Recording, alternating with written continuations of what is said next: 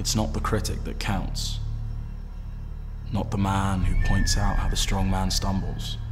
or where the doer of deeds could have done them better. The credit belongs to the man who is actually in the arena,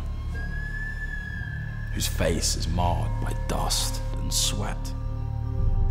and blood, who strives valiantly, who errs,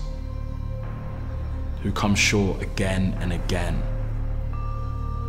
because there is no effort without error and shortcoming, but who does actually strive to do the deeds, who knows great enthusiasms, the great devotions,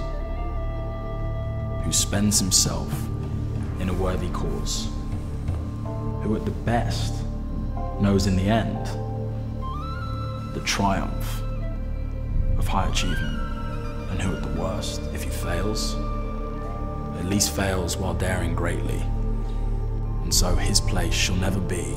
with those cold and timid souls who neither know victory